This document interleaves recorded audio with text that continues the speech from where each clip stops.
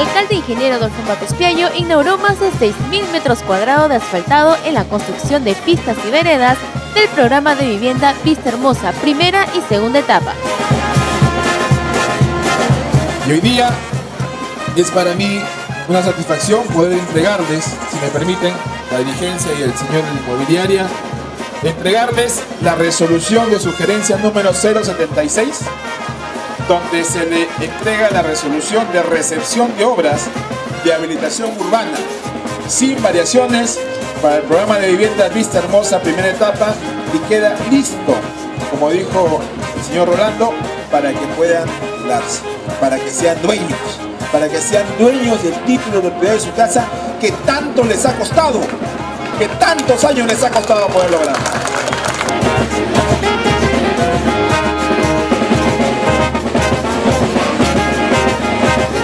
Así como la gestión municipal continúa construyendo más obras para el desarrollo del distrito.